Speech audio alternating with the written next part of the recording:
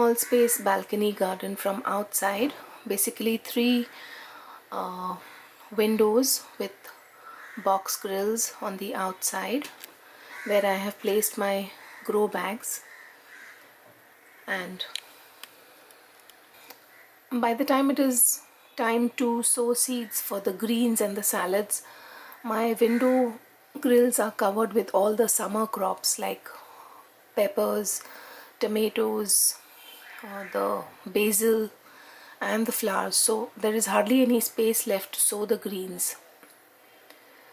So I was toying around with the idea of using this one particular wall that I get in window number 3 uh, to use it as a space for a vertical gardening idea. Of the three windows this is the only one that has a wall and since it is a building wall I cannot make holes in it to fix anything. So it needed to be something that I could remove when I didn't want it. Now I thought of other ideas of utilizing my grill for vertical gardening and I had put in these brackets where I could put in containers on the inside. But the problem was on doing this the containers were shading out the plants that were growing in the grow bags so I had to dispose of the idea in this particular window and my husband came across this vertical shoe organizer when he visited IKEA last year and he got it back for me as a surprise hoping that I will be able to use it for my vertical gardening space.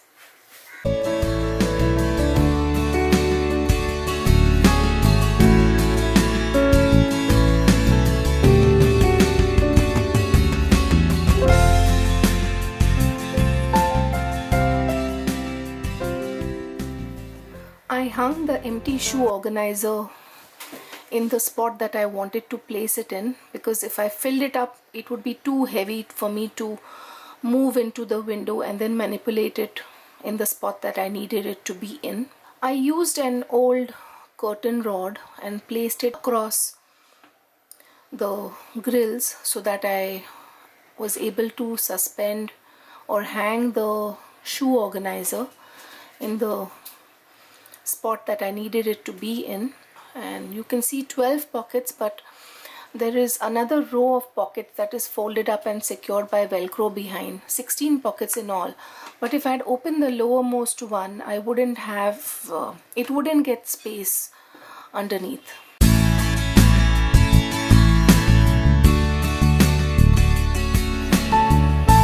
For this vertical growing system I needed the potting mix to be light and hence I used my usual potting mix of equal parts of compost, vermicompost, coconut coir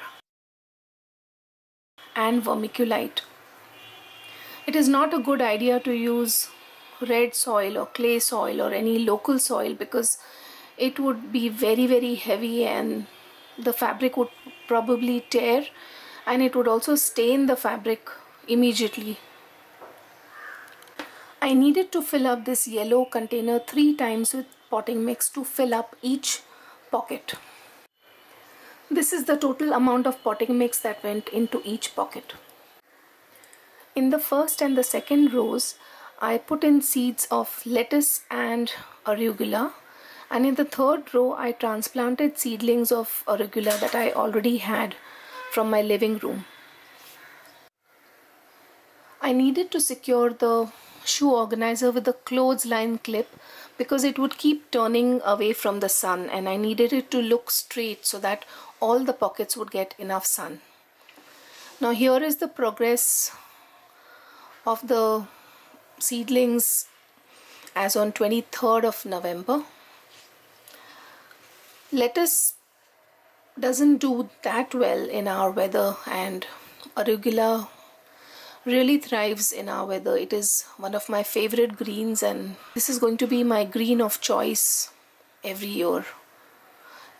The idea is to grow what one likes to eat. so here are the greens and whenever I'm ready for a meal I can just grab some of the leaves from here the ones on the top have yet to mature that's a uh, lettuce cimarron lettuce.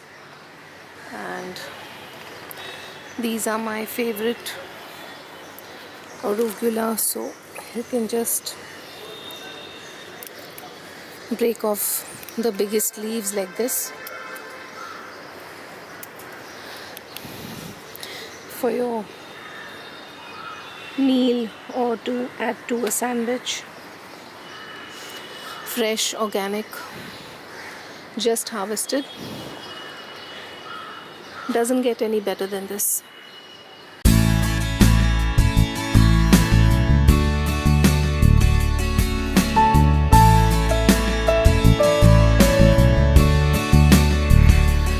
Twenty first December 2016 footage. You can see how big the leaves have become. As compared to when I had started them in smaller containers. In those you can get the microgreens but if you want the bigger leaves then you have to put in fewer plants.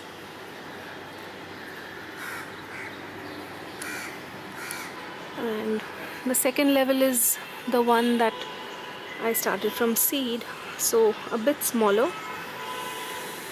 And on top is the cimarron lettuce.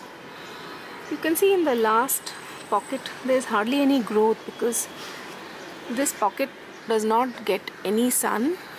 And this is the reason I have chosen to hang my wooden beehive over here. It's completely protected from the sun at this spot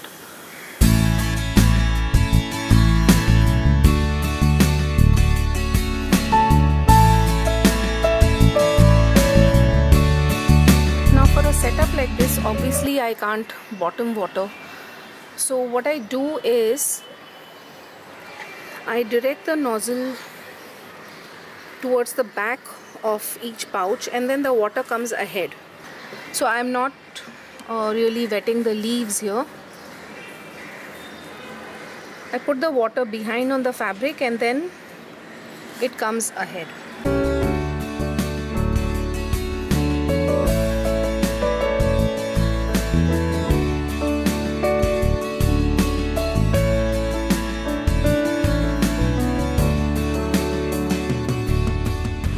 started off, the potting mix was almost till the top and it has kept settling down which enables me to add more compost from the top whenever required. You can see that there is enough place here to add more compost.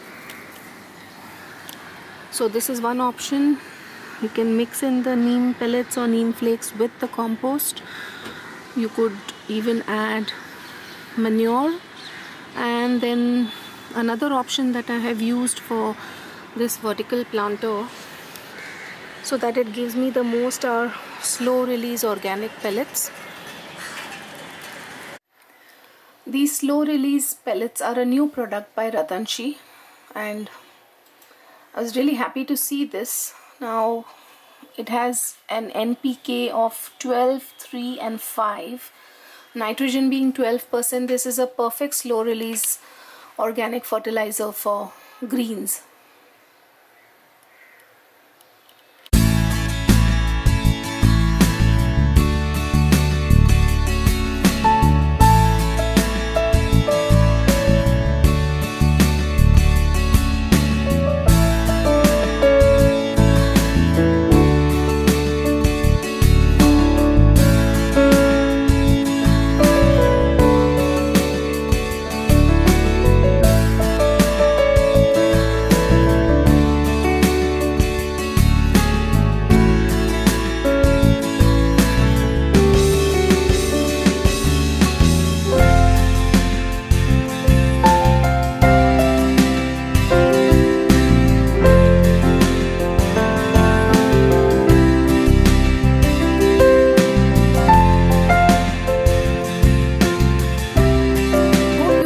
this vertical gardening idea that I have utilized in my small space garden this season to increase my growing space. And until next time happy gardening everyone